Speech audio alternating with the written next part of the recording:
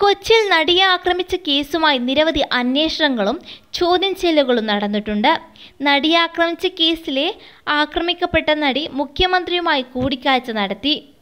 ഭാഗ്യലക്ഷ്മിക്കൊപ്പം സെക്രട്ടേറിയറ്റിലെത്തിയാണ് ഈ കൂടിക്കാഴ്ച നടന്നത്. തനിക്കുണ്ടായിരുന്ന എല്ലാ ആശങ്കകളും മുഖ്യമന്ത്രിയുമായി പങ്കുവച്ചുവെന്നും കൂടെ തന്നെ ഉണ്ടാകുമെന്ന് അദ്ദേഹം ഉറപ്പ് നൽകിയെന്നും അതിജീവിത വ്യക്തമാക്കി. കൂടിക്കാഴ്ചയിൽ താൻ സംതൃപ്തയാണെന്നും നടി പറഞ്ഞു.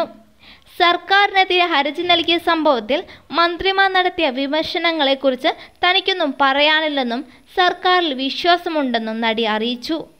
നടിയുടെ പരാതി തൃക്കാക്കര ഉപതെരഞ്ഞെടുപ്പിൽ വളരെ ചർച്ചയായിരുന്നു. ഇത്തരം വ്യാഖ്യാനങ്ങളോട് തനിക്കൊന്നും പറയാനില്ലെന്നും അത് ഓരോരുത്തരും ഉണ്ടാക്കിയെടുക്കുന്നതാണെന്നും നടി പറയുന്നു. സർക്കാരിനും വിചാരണ കോടതി ജഡ്ജിമാർക്കുമെതിരെ ഗുരുതര ആരോപണമുന്നയിച്ച് നടി നൽകിയ ഹർജിയിൽ ഹൈക്കോടതി സർക്കാരിന്റെ വിശദീകരണം തേടിയിരുന്നു. കേസ് അട്ടിമറിച്ചെന്ന ആരോപണം ശക്തമാക്കുകയും നീതി തേടി അതിജീവിത ഹൈക്കോടതിയെ സമീപിക്കുകയും ചെയ്തതോടുകൂടിയാണ് മുഖ്യമന്ത്രിയുമായുള്ള കൂടിക്കാഴ്ചക്ക് കളമൊരുക്കിയത്.